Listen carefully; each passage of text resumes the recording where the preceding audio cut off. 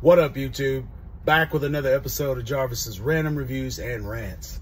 So, do me a solid, hit one of the buttons down below, like, share, notification, subscribe, all that good stuff. Um, I just was going to drop a quick video, which I plan on dropping one later. Um, I've actually been kind of busy the last couple days, so I haven't been able to drop one. Uh, I meant to drop one yesterday, but I know the internet is just waiting for me to post my spectacular videos. But uh, anyway, uh, I just was I just wanted to make a video real quick. I actually made a delivery to a place, and uh, I usually drive a van when I do my deliveries, and I pull up to the place, back up to the little dock or whatever, and these two old dudes come out and one dude's got a coffee and the other guy is just you know got his shirt tucked in just a regular old you know old old guy looking like two old guys because they were and the one with the coffee walks up and he looks at me and he goes man that's a big old van for such a little bitty box. Because I had like a little box that I was delivering.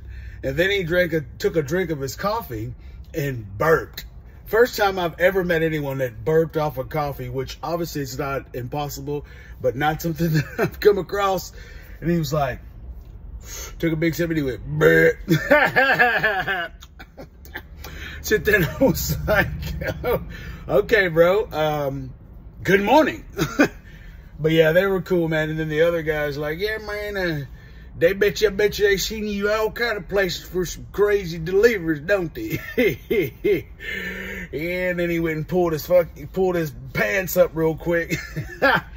I was like, man, old dudes are funny as hell, especially early in the morning. It was actually still dark kind of outside, so those dudes have probably been up since damn 3.30.